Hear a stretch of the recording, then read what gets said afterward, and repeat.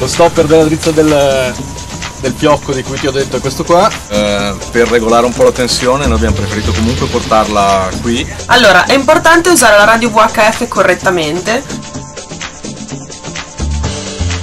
Della cima della drizza principale lassù in alto e del, delle varie pulegge. In chiaro le drizze l'importante è che appunto in caso di necessità siano pronte per essere utilizzate per ammainare le vele.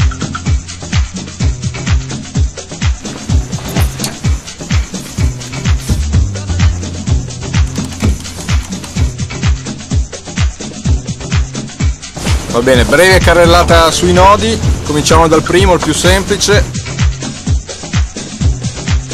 22, va bene, a 6 nodi per cena ci siamo di sicuro.